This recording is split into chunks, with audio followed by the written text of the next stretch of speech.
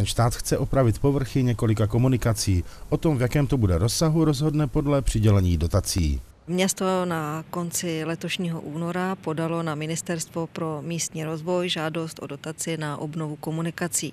Jedná se celkem o 2,77 km komunikací, přičemž náklady na jejich opravu by měly dosáhnout výše téměř 11,5 milionu korun a předpokládaná výše dotace může činit 5,7 milionů. Konkrétně se jedná o místní komunikace nebo jejich části v ulicích Sejfertova, Poláškova, Podmarkem, Lánské, Dolní, Papratná a Kopanská. Podali jsme žádost eh, o dotaci do programu na obnovu devíti úseků místních komunikací, které bychom rádi co nejdříve opravili.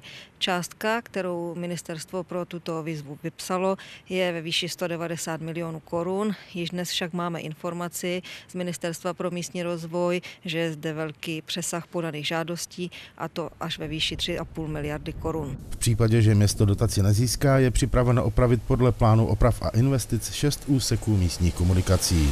A to celé ulice Seifertova a Poláškova a části ulic pod Markem. Tady je to od křižovatky s ulicí Markova ke Kapličce, ulice Lánské, Dolní, u mateřské školy a Papratná.